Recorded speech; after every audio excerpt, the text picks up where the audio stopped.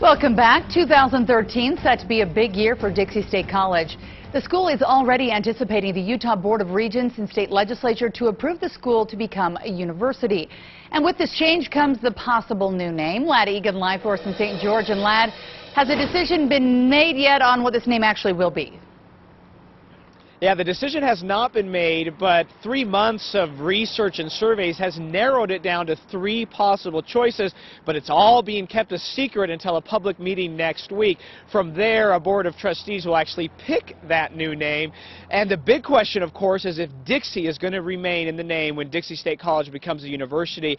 And a new newspaper survey is shedding some light on what the community thinks if you were picking your number one choice. A Spectrum newspaper survey shows 75% in favor of keeping Dixie as part of the new name for Dixie State College. It's just an interesting discussion on both sides. I mean, Spectrum digital editor Glenn Judas set up the survey. It's on top of people's minds in, in this area. Of the nearly 1,600 votes, the winner was clear. Dixie State University was the top dog. With 951 picking Dixie State University, coming in at a distant second with 158 votes was St. George University. University. We had a tremendous amount of response. The college hired Eric Sorensen's advertising firm to conduct a much larger survey. Uh, there are some surprises. The online survey was just one part of the comprehensive research. We were able to gather uh, not just information about the name, but about the institution, their likes, their dislikes. Sorensen will present the top three names in a public meeting next week. I think you'll find in the meeting on January 9th that uh, it's, it's fairly clear. The research process has not always been easy, with public forums becoming heated debates debates and top donors threatening to pull support if Dixie is dropped. There was a lot of passion,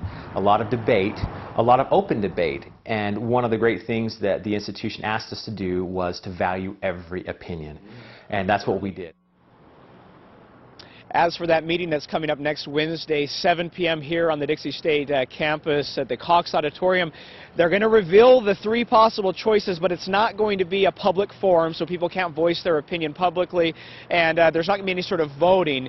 The uh, Board of Trustees is going to take all that research and those three suggested names, and then they will ultimately make the decision. Heidi, back to you. And all that research, after all that, everyone really wants to keep the Dixie name.